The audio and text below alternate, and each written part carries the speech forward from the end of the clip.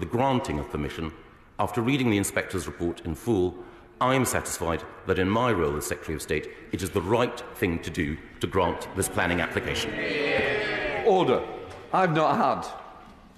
I've got the thinnest statement ever, and quite rightly, the Minister has gone long, so there's something missing between what I've been provided, the opposition have been provided. That is not according to the Ministerial Code. We don't work like that.